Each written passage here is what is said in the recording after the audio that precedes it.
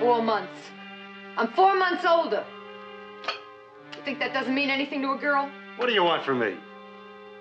I want some action, that's what I want. Oh, you're the guy with the big plans.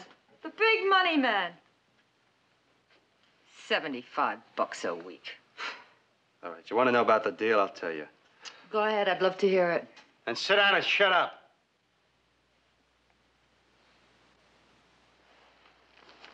I told you about this guy Bregornick. He's an operator, a big timer. He makes more quick import deals than anybody on the East Coast. You know why? Because he deals in cash. No papers, no books, no nothing. I figure he must keep a hundred, two hundred grand in that apartment of his. So what are you gonna do? Swipe it? No, it won't be that easy. Bregornick's no dope. I figure I'm making one big haul and I'm taking my time about it. And we'll have enough dough to skip the country. Live it up big someplace. South America, Rio. Rio. Yeah, any place you like. Oh, but when's it gonna be? When's it going to happen? I don't know. I can't be sure. It might be six months from now. Might even be this week. There's been a rumor around the office about some foreign typewriters. Typewriters? Yeah. Stolen goods. I don't know how true it is, but I heard our old friend Miklos is in on a deal. And if it clicks, the price could be big. How big? I don't know. I'll have to see. And you really think you could get the money? Oh, I ain't been thinking of anything else for months.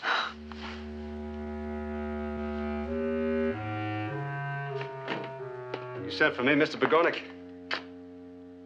Yes. You and me, we got a date tonight. Your apartment?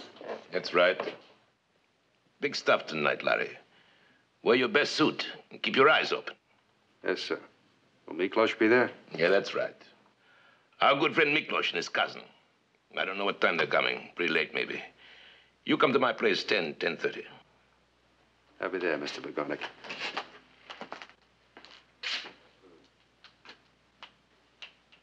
Well? There's been a rumor going around about some typewriters. Is that the deal, Mr. Bregornick? I don't like rumors. Sometimes they're true. Now get out of here.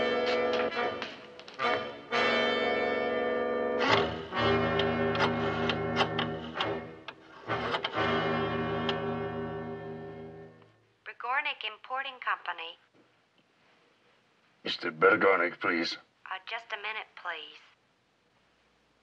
Bregornick. Stefan. Who is this? Miklos? Yes. Chest is very bad today. I think maybe I cannot leave the house tonight. That's too bad. We will make it some other night then, Miklos, when you feel better. Uh, no, no. Business is business. Perhaps if someone could bring the money over to my house tonight, about eight. Someone? yes, uh, your cousin. Uh, Larry, uh, he's trustworthy, no? Yes. But we haven't yet agreed on the price. Is the 30,000 agreeable to your partners? Yes, yes. It's agreeable. All right, then. I'll send Larry with the money.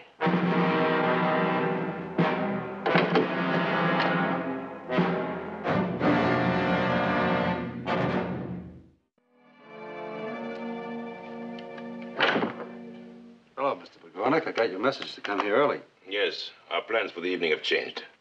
Come in, Larry. My good friend Miklos called me this afternoon. He can't make the meeting tonight, but he wants to complete the transaction. So I'm sending you over to his house with the money.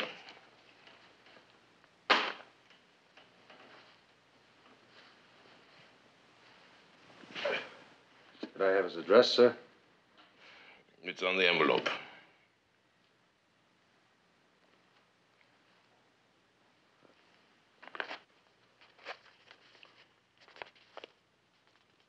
Should I go now, Mr. Bregornick?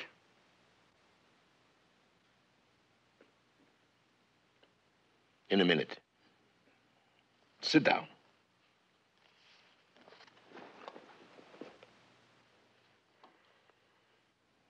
I've been thinking about Eva, your mother. My mother? Yeah. To you, she was just a, a nice old lady cooked your meals and sent you to school and junk like that, right? My mother died before I was 12, Mr. Bregornick. Yeah, sure, I remember. Only maybe you didn't know something about your mother.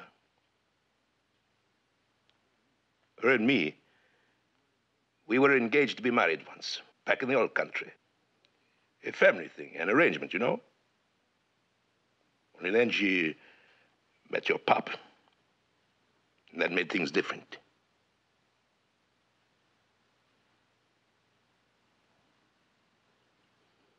You ever know about that, Larry? No, sir. I could have been your father. I wouldn't have minded that, Mr. Begornick. You were better off the way you were. Don't get any wrong ideas. Your pop was the best guy on earth. Stupid, but the best. Sure, Mr. Begornick. Don't you ever forget it.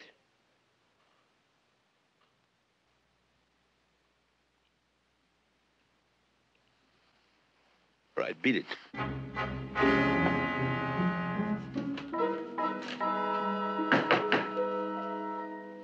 Who is it? Come in, Angie.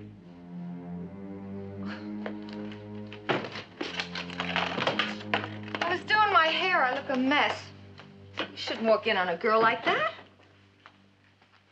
Sit down. Say, what's with you? Sit down.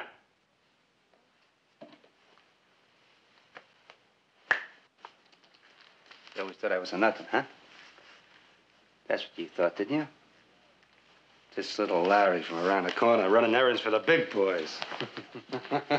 Taking bets. What's the matter? You drunk or something? huh?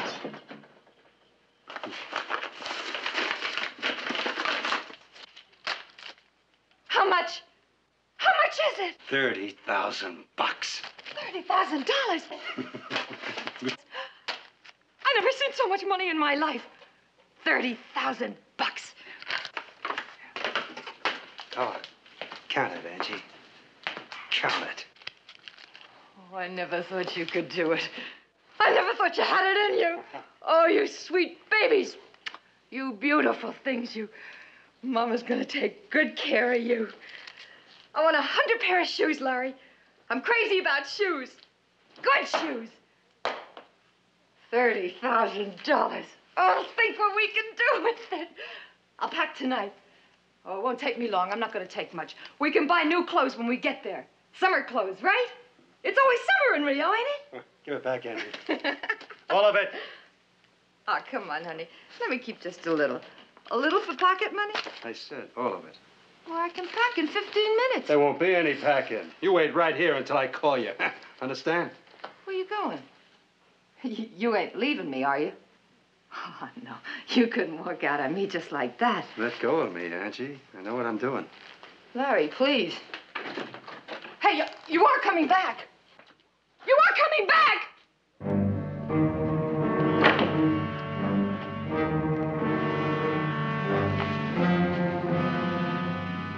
Hello, cousin.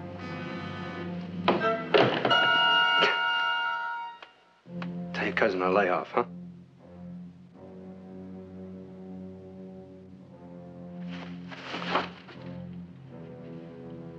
Where is the money? What have you done with the money? I'm sorry for all the trouble I caused you. Here it is, Mr. Gornick. It's all there. It's 30,000 bucks. You see? He was the one who called you, not I, Stefan. The boy is a thief. He's right. I'm a no good crook. I was the one that called you, told you the meeting was off. I thought it was going to be easy. I was all set to hop a boat to South America. Then why didn't you? Why did you come back? Because I forgot something. I thought I was being real smart getting all that dough. But I forgot about my old man.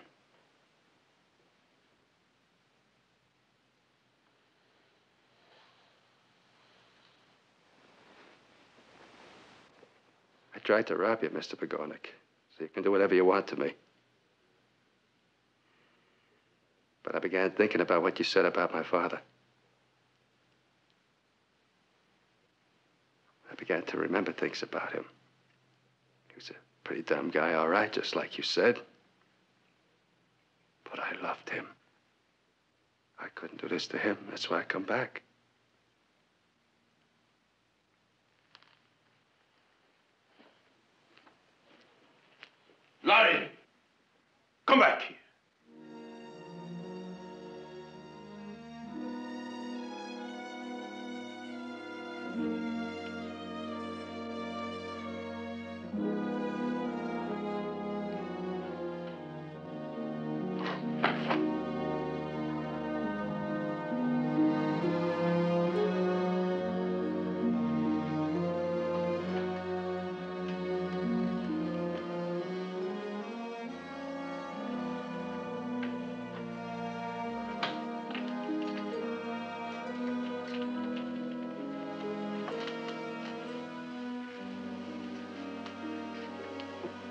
Angie. Angie. Larry! Oh, you came back. I never thought you would. I never thought I'd see you again. I told you, didn't I? Where you been? I've been to Bregornick's place. Pogornik. Mm-hmm. I gave him back the money. You gave him back the money. Every nickel. Why, Larry? Why? What's so funny? What's so funny?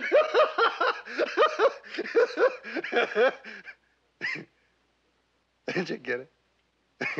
Didn't you get it, you dope?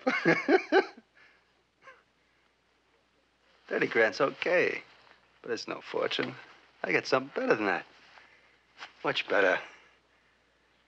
Something that'll pay off in a hundred grand someday soon.